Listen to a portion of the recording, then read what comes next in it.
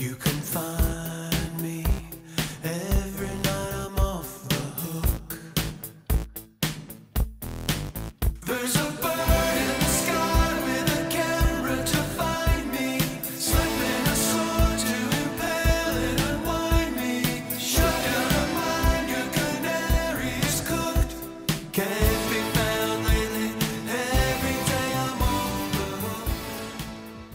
Happy Thursday and happy second to last day before break. I'm Olivia. And I'm Lainey. This is the Morning Marshal. Marshall County anglers Blaze Grant and Stephen Wilhelm took first, and Ty Roden placed second in Saturday's SAF West Kentucky's High School Trail Tournament. Grant and Wilhelm weighed two fish in at 6 pounds 6 ounces to just barely top Redden with two fish weighing 6 pounds 4 ounces. Redden also caught the big bass of the tournament, weighing in at 4 pounds and 5 ounces. Great catch, Marshalls. Tuesday, we picked up two big district wins over Murray High. Hunter Wallace led the guys with 17 points, and Izzy Was- Washburn led the Lady Marshals with 20. Both games can be watched on the Marshall Media Arts YouTube. Both teams are on the road tomorrow in McCracken County. The guys remain undefeated with a 6 0 record. Wade Moore and Trey Wall are the MTG Players of the Week. Last week belonged to Moore, who scored 37 points combined in the Marshalls Hoop Fest games. Trey Wall is also this week's Athlete of the Week. Wall led the Marshalls with 21 points in Friday's 74 59 win over Graves County, which included seven three pointers. Go Wade and Trey. It's the end of the semester, and sadly, the end of a legendary teacher's time here.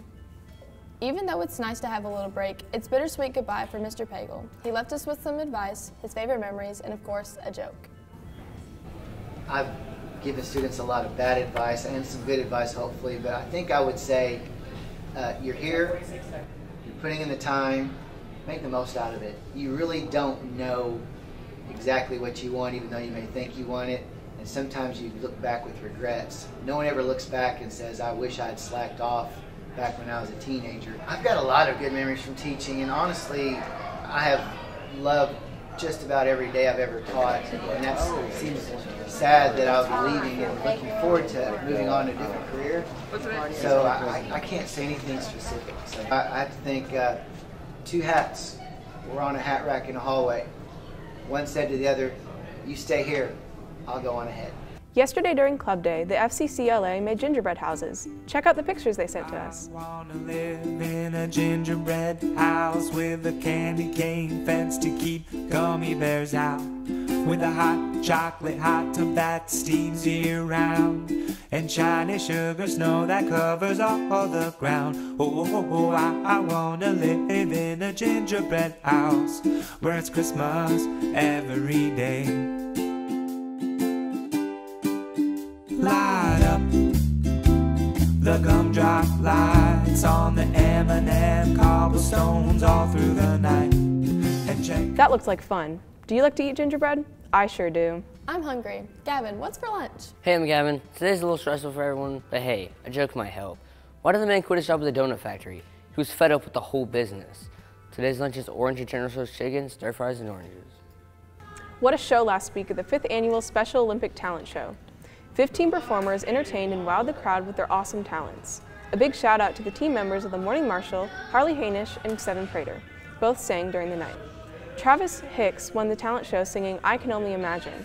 MCHS custodian Isaac Holland took home third, singing faithfully, and Cheyenne Bird took home second, playing drums to the Beastie Boys. Let's listen.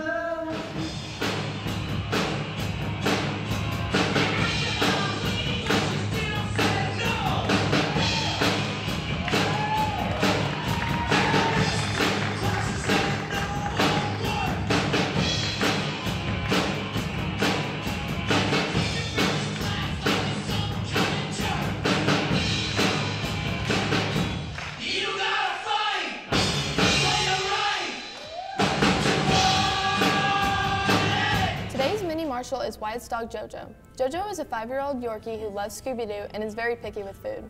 Today's your last chance of the semester to get your pet featured on the Morning Marshal. Don't forget to scan the QR code.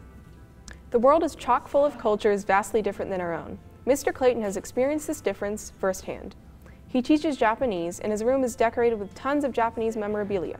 But you may not know that he actually lived in Japan from 2003 to 2012 to work as a teacher. Right? Well, it was really neat. Yeah, it's uh, I think what I like most about it is it's just a very different culture than our culture here in the United States. And so I think the one thing I thought was most interesting was in the U.S. if something's you know 100 years old, we consider that really old. But in Japan, their culture goes back thousands of years. So like the, uh, some of the buildings in the town where I lived uh, were built in the 700s, not 1700s, but 700s. And so it's neat to see a really modern building right next to an ancient temple. And so I think that kind of stuff is just really interesting because it kind of makes you really think about you know your own culture and your own language and stuff. But uh, just gives you a lot to look at and think about. So. Last week, eight of our marshals went on the East Coast Historical Trip with Colonial Connections and the Five Mile Foundation. They traveled over 1,500 miles through 11 states. Our marshals visited famous historical locations where America was forged. Places such as Surrender Field, St. John's Episcopal, Independence Hall, the White House, the Capitol Building, and the House of Burgesses. Let's go talk to some students who went on the trip of a lifetime. Uh, we went on the East Coast for a historical colonial experience. All right, so all the places we went on this trip, we went to Baltimore, Williamsburg, Yorktown, Jamestown, uh, New Jersey. We went to New Jersey for a while. We all had a good time. My favorite part on the trip was Washington, D.C. It was a heck of a time. Um, the, my favorite part of the trip was going to Monticello. Um, I think that was the best part of the trip, Tom, Thomas Jefferson's home. Now it's time to hear from our RISE reporter, Harley Hainish, this week with Interview Who.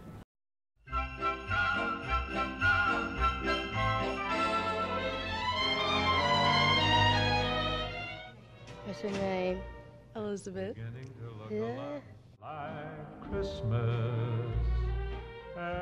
Did you pass high school? I do. Take a look in the five and ten, glistening once again. Where you work? With It's candy Five canes and silver lanes aglow. It's beginning to look alive. Do you like your job? Um, sometimes. Every store, but the prettiest sight Would you have to ask her? holly that will Um, I'm gonna go to college, but I don't know where yet. front door. A pair of hopalong boots and a pistol that shoots as the What's your job after college? I'm not sure yet. walk the hope of Janice and Jen. And mom and dad can hardly wait for school. Who's your favorite Christmas spectacular? The Rockettes.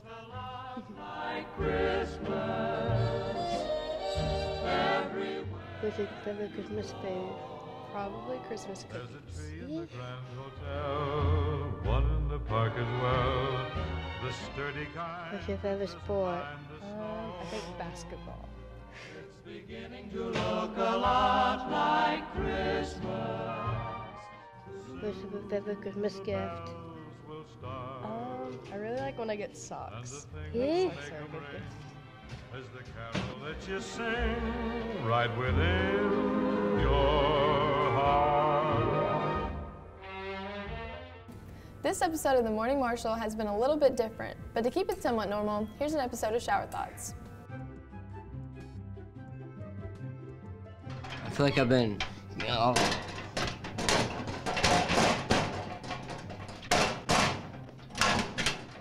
Shower thoughts with Zach and Gavin.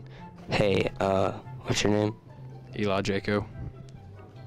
Do you know who Jenna Ortega is? No.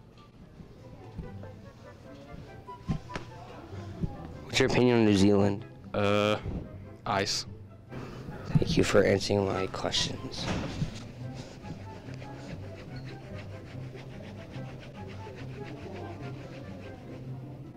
Is a soup a food or a drink? A soup. Is that food or a drink?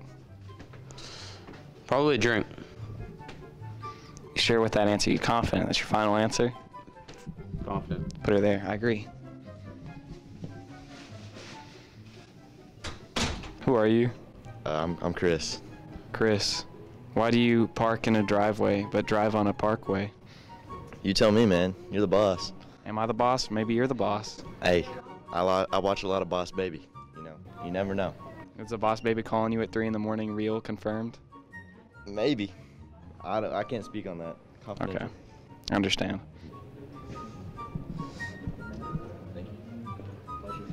I'm Gavin. There you go, Buckaroo. I'm Zach. This has been Shower Thoughts.